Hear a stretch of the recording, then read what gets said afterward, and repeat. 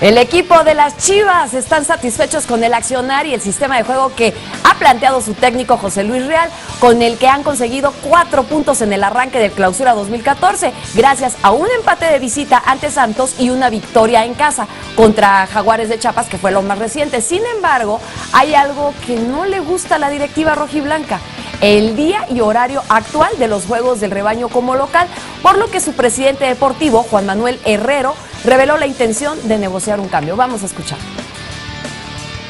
Yo lo que primero hago es hablar con la parte deportiva.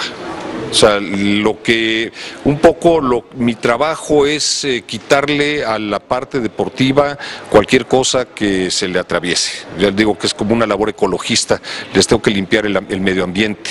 Y hablo mucho con la parte deportiva y busco que lo que la parte deportiva me sugiere, me solicita, se pueda llevar a cabo. Y en este caso, platicado con el güero, este, con Paco Palencia, este, llegamos al, a la bus, bueno, llegamos a la decisión de buscar la posibilidad de jugar los sábados a las 7. No nos gusta.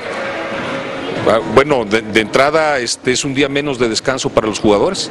O sea, cuando jugamos sábado a las 7 tenemos un día más normalmente en semanas normales, ¿no? Cuando juegas hasta el sábado siguiente o hasta el domingo siguiente, ganamos casi 24 horas. Te invitamos a seguir cuestionando la información con los siguientes videos.